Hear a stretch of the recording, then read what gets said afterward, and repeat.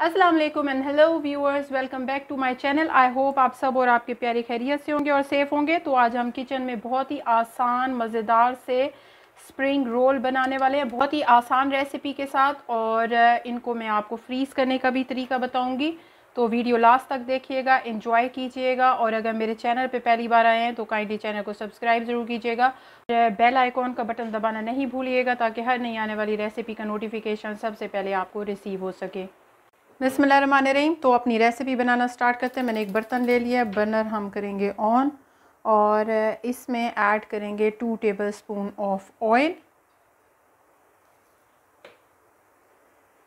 और इसमें ऐड करेंगे हाफ़ कप अनियन और इसको 30 सेकेंड्स के लिए हमने फ्राई करना है।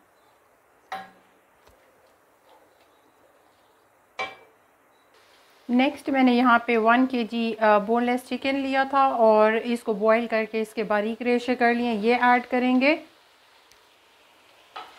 और इसको थोड़ी देर के लिए फ्राई करते हैं। और नेक्स्ट इसमें वेजिटेबल्स ऐड कर लेते हैं। तो यहाँ पे वन कप कैबेज लिया है मैंने। ये ऐड करेंगे। दो मीडियम साइज़ के कैप्सिकम लिए थे, ये ऐड करेंगे।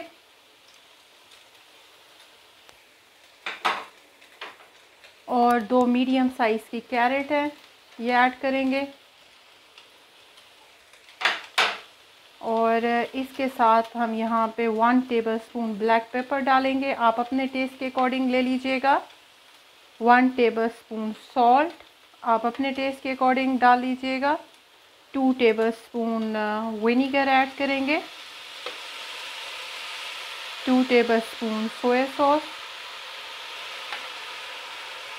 and one tablespoon chilli sauce इन तमाम चीज़ों को अच्छे से मिक्स करते हैं और दो से तीन मिनट के लिए कुक करेंगे।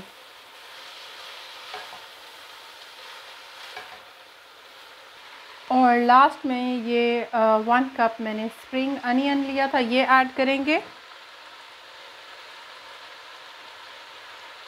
और इसको जस्ट थर्टी सेकेंड्स के लिए मैंने इसमें मिक्स करना है ओवर तो ये हमारे बहुत ही मज़ेदार से स्प्रिंग रोल के फिलिंग जो है वो तैयार हो गई है। इसको मैं ठंडा हो लेने देती हूँ और फिर अपने रोल बनाने स्टार्ट करेंगे। तो नेक्स्ट एक बर्तन में मैं फोर टेबल स्पून के करीब ऑल पर्पज़ फ्लावर ले लेती हूँ। और इसमें पानी डाल के इसका हमने स्लाइटली थिक सा एक पेस्ट बना लेना है। लाइक दिस और अभी अपने रोल जो है वो बनाने स्टार्ट करते हैं। तो एक रोल शीट ले लेंगे। और ये जो हमने बहुत ही मज़ेदार सी अपनी फिलिंग तैयार की थी, ये रखेंगे।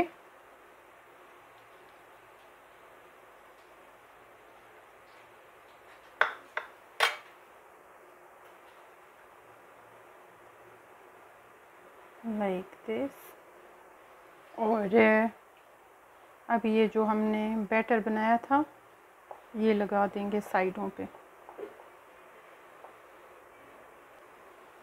और अभी इसको फोल्ड कर लेते हैं।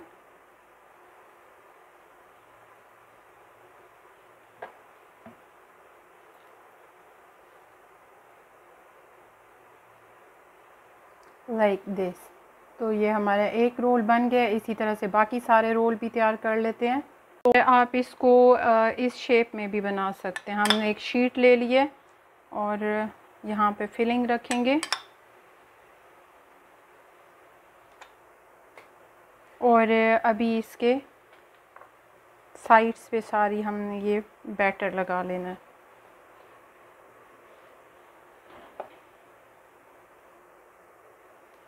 नेक्स्ट पहले हम इसको साइड से फोल्ड करेंगे।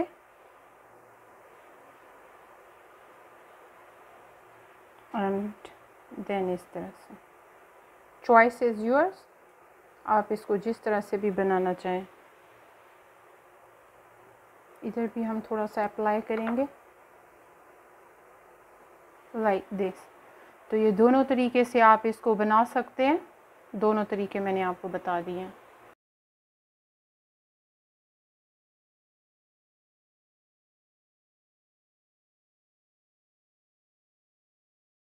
तो ये तमाम रोल जो हैं ये आ, मैंने बना लिए हैं और अभी इनको एटलीस्ट वन आवर के लिए मैं फ्रीज़र में रख दूँगी। और उसके बाद इनको ज़िप लॉक बैग में हम स्टोर कर लेंगे। आप इनको एक ही बार में बनाइए और पूरे रमज़ान में आप इनको इंजॉय कर सकते हैं। तो अभी इनको फ्राई करके चेक भी कर लेते हैं कि हमारे स्प्रिंग रोल बने कैसे हैं। तो ऑयल मैंने गरम करने के लिए रख दिया था और अब इसमें अपने रोल फ्राई करने स्टार्ट करते हैं। बिस्मिल्लाह रहमान रहीम। मीडियम फ्लेम पे इनको फ्राई करेंगे।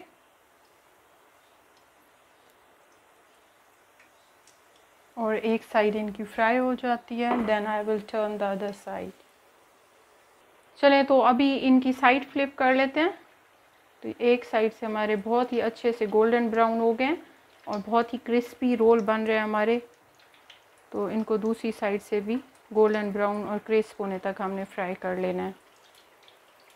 चलें तो ये हमारे रोल फ्राई हो गए हैं इनको मैं निकाल लेती हूँ, बाकी भी फ्राई कर लेते हैं और फिर इनकी फ़ाइनल प्रेजेंटेशन देख लेते हैं। अच्छा जी तो अल्हम्दुलिल्लाह हमारे ये बहुत ही आसान और मज़ेदार से स्प्रिंग रोल बनकर तैयार हो चुके हैं और ये है इनकी फ़ाइनल प्रेजेंटेशन आप लोगों के लिए।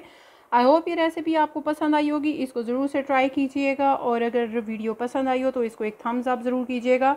और अगर मेरे चैनल पे पहली बार आएँ तो काइंडली चैनल को सब्सक्राइब ज़रूर कीजिएगा और बेल आइकॉन का बटन दबाना नहीं भूलिएगा ताकि हर नई आने वाली रेसिपी का नोटिफिकेशन सबसे पहले आपको रिसीव हो सके। So this is it for now I will see you in my next video किसी ऐसी बहुत आसान और मज़ेदार रेसिपी के साथ तब तक अपना और अपने प्यारों का बहुत ख्याल रखिएगा। टेक केयर अल्लाह हाफिज़।